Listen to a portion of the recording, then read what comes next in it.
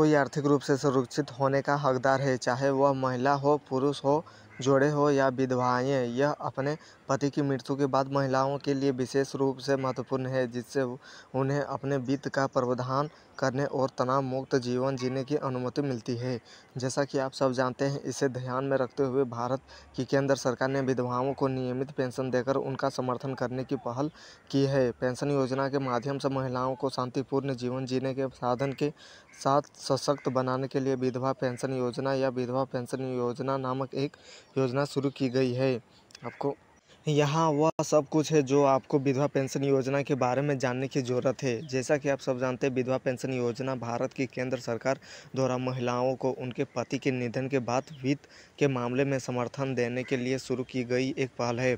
आपको बता दूँ, यह योजना निश्चित मानसिक भुगतान के रूप में नियमित पेंशन प्रदान करती है, जो विधवाओं को अपना और अपने परिवार का भरण पोषण करने के लिए सशक्त बनाती है। जैसा कि आप सब जानते हैं, प्राथमिक उद्देश्य विधवाओं को वित्तीय स्वतंत्रता प्राप्त करने में सहायता करना है, जिससे वे अपने परिवार की देखभाल कर सकें और वित्तीय तनाव के बिना जीवन जी सके। आपको बता दूँ, जबकि विधवाएँ इस वित्तीय लाभ की हकदार है, विधवा के निधन के बाद विधवा के परिवार का कोई अन्य सदस्य लाभ नहीं उठा सकता है। इसके अतिरिक्त योजना के लाभ और आदेवेक की आवेदन की प्रक्रिया एक राज्य से दूसरे राज्य में विभिन्न हो सकती है।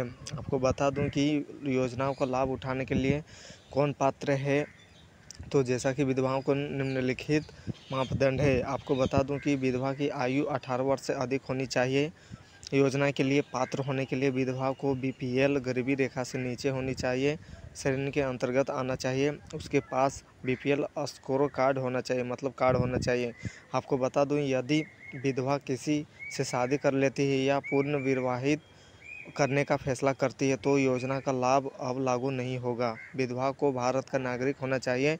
यदि विधवा के बच्चे उसके वित्त की देखभाल करने में सक्षम है तो योजना लागू नहीं होगी। आपको बता दूँ आमतौर पर विधवा पेंशन योजना कैसे लागू करें? तो के कि दो तरीके हैं यानी ऑनलाइन और ऑफलाइन आवेदन करने की प्रक्रिया। विधवा पेंशन ऑनलाइन आवेदन ऑनलाइन आवेदन प्रक्रिया कैसे करें?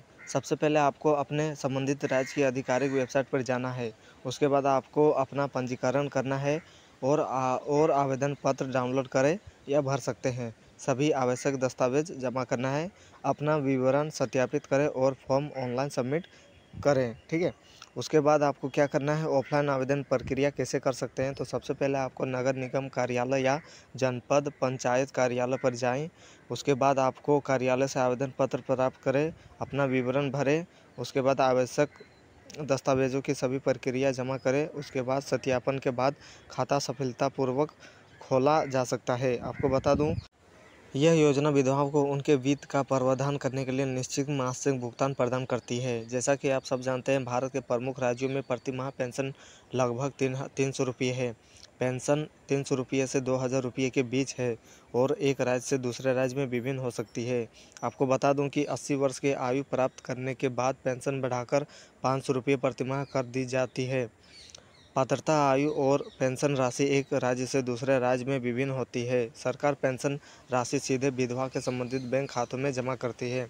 आपको बता दूँ कि, आपको बता दूँ कि यूपी के विधवा पेंशन को आप बेसब्री से जनवरी, फरवरी, मार्च 2024 की पेंशन का इंतज़ार कर रहे हैं।